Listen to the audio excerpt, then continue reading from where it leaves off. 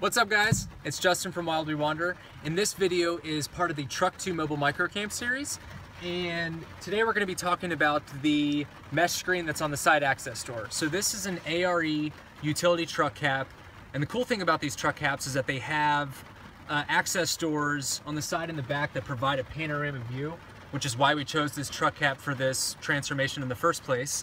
And what we wanted our goal on the side access door is to be able to have a solution that let the air and light in, but we wanted to keep all the bugs out because we can't stand mosquitoes and other bugs. So what we did was we purchased this mesh screen uh, on Amazon and we used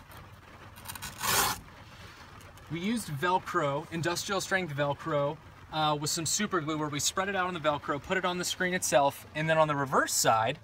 we used this hockey tape, which is really just a cloth tape, and did the same thing where we took super glue, spread it out, and put it on so that the Velcro and the hockey tape uh, have a strong binding together so that it's not coming off. And as you can see, it's really easy to apply.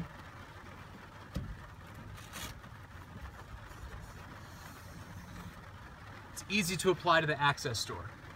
And the big plus about this is, so from the outside, you know, let's say that you're uh, somewhere and it's open and you want to have all the light come in, but if you wanted to close and you want to have a little bit more privacy, instead of cutting a ventilation uh, solution in the roof like a like a fan or something, what we what I found is is that on the access door you can actually just lock it, bring it down, and you'll have you'll have room right here for ventilation. So that's our ventilation system. And you know, if you want to keep the screen in while you're traveling, all you need to do is just push this forward, unlock this,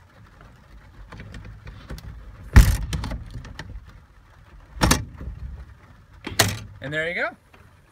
So for any project that you're doing for a truck camper, a, a, screen for the side access door is key because it's going to allow the light in, it's going to allow the uh, air to come in, and you're going to keep those bugs out. Thanks so much, guys.